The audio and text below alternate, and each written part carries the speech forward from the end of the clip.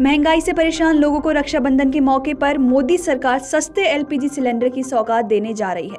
सूत्रों के मुताबिक, महँगे एलपीजी सिलेंडर को लेकर विपक्ष के लगातार हमले झेल रही मोदी सरकार ने घरेलू एलपीजी सिलेंडर के दामों में दो सौ तक की कटौती करने का फैसला किया है। हालाँकि ये फ़ायदा केवल प्रधानमंत्री उज्ज्वला योजना के लाभार्थियों को ही मिलेगा। मोदी सरकार के इस फैसले से खजाने पर पिछहत्तर सौ करोड़ रुपए का बोझ आएगा। बीते वर्ष रूस यूक्रेन युद्ध के चलते जब अंतर्राष्ट्रीय बाज़ार में कच्चे तेल और गैस के दामों में तेज उछाल देखने को मिली थी, तब मई 2022 में मोदी सरकार ने पीएम उज्ज्वला योजना के लाभार्थियों को साल में 12 सिलेंडर रिफिल कराने पर दो सौ प्रति सिलेंडर सब्सिडी देना शुरू किया था, जिसकी मियाद को बढ़ाकर 31 मार्च 2024 तक के लिए एक्सटेंड कर दिया गया था। इसके बावजूद इस योजना के तहत सिलेंडर कराने वालों को नौ सौ खर्च पड़ रहे थे।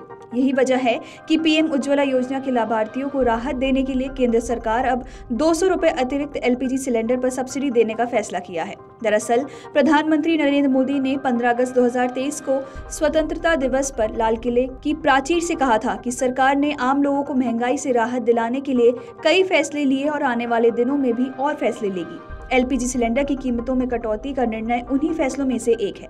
सरकार के इस फैसलों को चुनावों से पाँच राज्यों में होने वाले विधानसभा चुनाव और अगले वर्ष 2024 में होने वाले लोकसभा चुनाव से भी जोड़कर देखा जा रहा है। बता दें कि 1 मई 2016 को पीएम मोदी ने योजना को लॉन्च किया था। मौजूदा समय में कुल 9 करोड़ से ज़्यादा प्रधानमंत्री उज्ज्वला योजना के लाभार्थी हैं। आज की तारीख में गैर सब्सिडी एलपीजी सिलेंडर को रिफिल कराने के लिए आम लोगों को ग्यारह सौ तीन खर्च करने पड़ते हैं। सरकार ने प्रधानमंत्री उज्ज्वला योजना के लाभार्थी तो राहत दे दी है।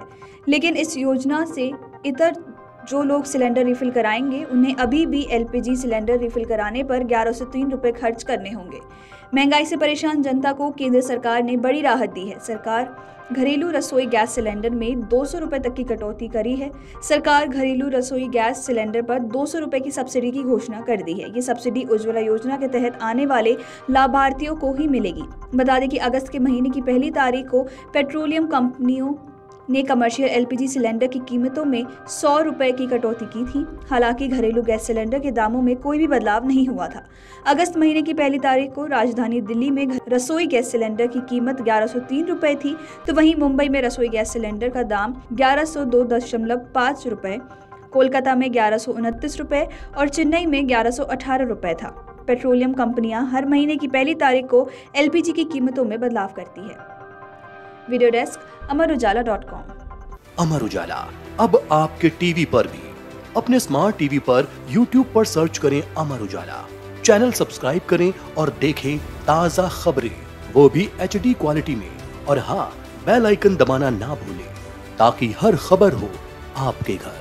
अमर उजाला, निष्पक्ष निर्भी निरंतर।